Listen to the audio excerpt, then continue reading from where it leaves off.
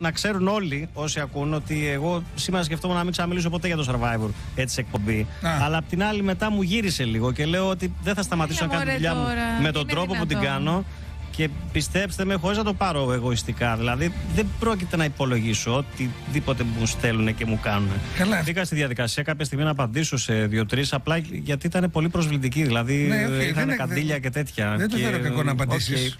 Και το κάνουμε Καλά, και λίγο. Γιώργος, γενικότερα Απάντησα με διάθεση απαντάει. τρολαρίσματο ε, και ξέρεις, δεν συνεχίστηκε. Οπότε κατάλαβα ότι Ε, τα εγώ πράγματα είναι αλλού λίγο θέλω να- σοβαρά. δεν από αντέχει όλα ο αυτά. κόσμος. Δηλαδή και σας το λέω, βάζω μια τελεία, Ναι. επειδή είναι πλέον το θέμα Ωραία. του κόσμου. Α κάνει ο κόσμος ό,τι Σωστά. θέλει. Όποιος παιδε αγαπάει να υποστηρίξει. Όποιος δεν αγαπάει Ακριβώς, και τώρα όχι, ο Γιώργος πρόσεξε, δεν όχι είναι εκεί για να όποιο απαντάει μισεί. σε Συμφωνώ. αυτό. Μπορεί να τους βγάλει έξω με τη διαδικασία της ψηφοφορίας. Είναι ένα παιχνίδι το οποίο έχει κανόνες. Και οι κανόνες τηρούνται. Όπως επίσης και Από στο εκεί και μοντάζ πέρα- δεν ευθύνεσαι εσύ αυτό να το θυμούνται καλά. Στη φάση αυτή με το μοντάζ, για να μην παρεξηγηθώ, όταν είπα τα παράπονα σας στο μοντάζ, δεν κατηγόρησα το μοντάζ ότι έκοψε ή έκρυψε κάτι.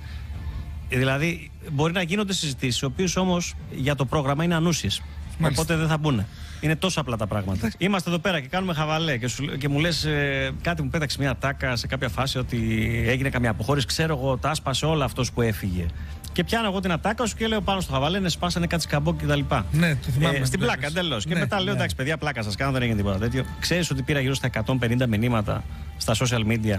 Πού είναι τα σκαμπό που μας έταξε ότι θα σπάσουν; Αλήθεια. Δεν έχουν σενάριο. Είναι αν τους πιάσουν τα νεύρα θα κάνουν φασαρία. Για Απλά Δομηνικό. βρέχει, βρέχει πολύ, βρέχει Βρέχει. πολύ. Πω, πω, άσε με Αλλά να θα πω θυμίσεις. στα παιδιά να είναι ήρεμα, να μην τσακώνονται. Ναι, Θα σου πω, μπράβο. εντάξει, παιδιά, φάγατε μια βροχούλα, δεν πειράζει τώρα. Εντάξει, μην τσακώνεστε όπως Μην τα άλλα τα, τσακώνε, τα ναι. σοου που Ναι. πάνε οι παίκτες και κουμούνται στο σπιτάκι τους, μετά ανεβαίνουν πάνω στο εξώ, την ρίχνουν καντήλια. Ευτυχές Μην μάλλον πάτε είναι, όπω τον φίλε. Μπάτσελορ ο Βασιλάκος που κλώτσαγε το σκουπίδι τελική επειδή αρνήθηκε το τριαντάφυλλο η άλλη κοπέλα. Δηλαδή και σεξιστική επίθεση και κλωτσιά στο Ντενεκέ.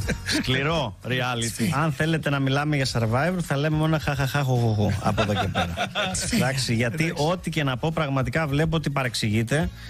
Και οκ, δεν το, Γιωργάκο δεν μου, το εγώ πολύ, δεν σε δεν το πολύ παρεξηγώ. γουστάρω. Σκέφτομαι να μην ξαναμιλήσω για το survivor. Όχι. Δηλαδή το λέω σε εσάς, δεν θα ξαναμιλήσω. θα Γιώργο. κάνω τη δουλίτσα μου εδώ πέρα.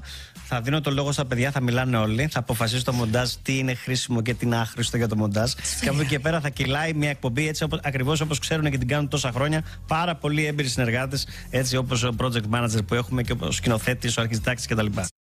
Ε, είναι η πρώτη φορά που ακούω τον Γιώργο λίγο ενοχλημένο. Ναι, ναι. Δεν ξέρω τι έχει συμβεί. Να, να πω κάτι και μετά ο λόγος σε εσάς. Ε, για μένα είναι εξαιρετικός αυτό που κάνει.